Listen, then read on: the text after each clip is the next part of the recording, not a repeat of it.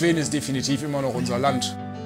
Für uns, für mich, für die Kinder, für alles. Es ist alles viel, viel besser geworden, als wir uns das vorstellen hätten können.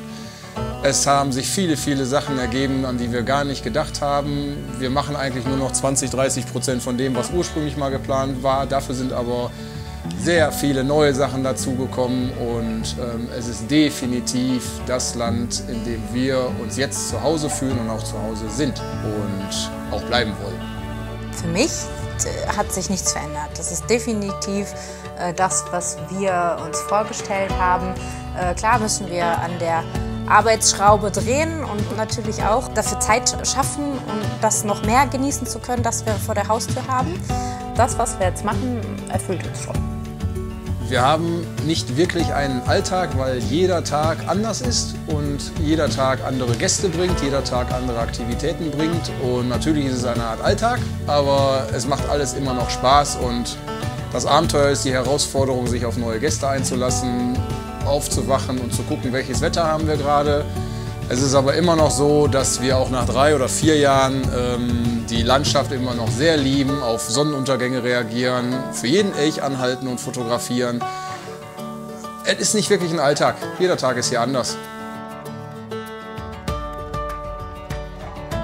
Warum wir es vom Gesicht verändert haben, war auch, dass das Café vorher mit vielen Leihgaben bestückt war. Ein paar Herzstücke entfernt wurden und wir gesagt haben, Mensch, ist es jetzt nicht mehr das, was es halt auch vorher war. Es hatte definitiv seinen Charme, aber wir bringen ja hier auch frischen Wind in den Ort und äh, haben gesagt, wir müssen es definitiv auffrischen.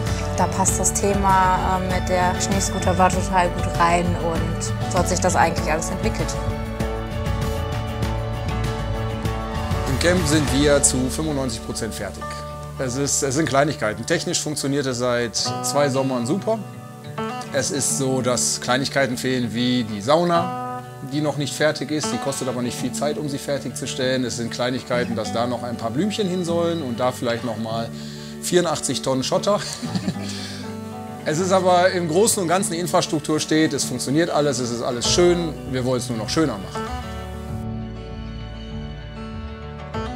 Dadurch, dass wir natürlich hier im Herzen von Nurnes direkt an der Hauptkreuzung, wo es schön idyllischen Örtchen sitzen, ähm, haben wir natürlich auch die Möglichkeit, äh, Touristeninfo zu sein.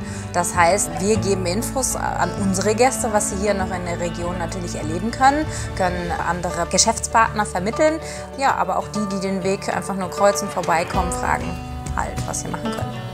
Du kannst hier im Winter so viele verschiedene Sachen machen, wobei mein Favorit definitiv die Schneescooter-Touren sind. Für mich selber privat eigentlich auch das als erste Wahl nehme, sobald ich Zeit habe, dass ich mit einem Schneescooter durch unsere echt schöne Winterlandschaft fahre.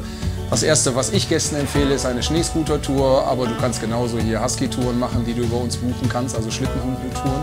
Du kannst in eines unserer fünf nahegelegenen Skigebiete fahren und äh, Skiablauf machen. Wir haben hier selbst in Nurnes direkt eine Langlaufloipe, die beleuchtet ist. Du kannst auf unserer Eisbahn mit einem unserer Fahrzeuge fahren.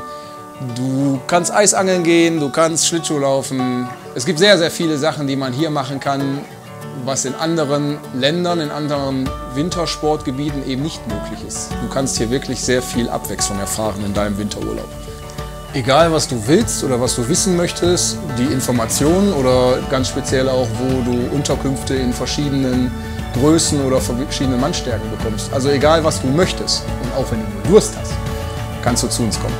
Und wir wissen, denke ich, fast immer die Antwort.